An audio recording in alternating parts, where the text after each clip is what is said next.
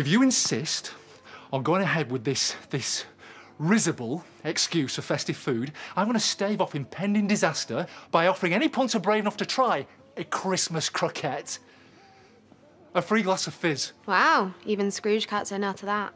That's free, gratis, at no extra charge. And at 7 a.m. tomorrow morning, all of our clients and customers, they're going to get a QR code, OK, in their inbox explaining the offer. You're not the boss of me, Al. And as a partner in this pub, I'm doing this whether you like it or not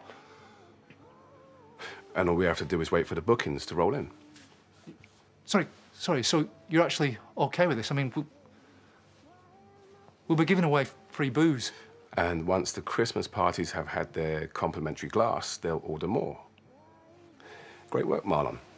If you think it'll make us more cash, you do whatever you want.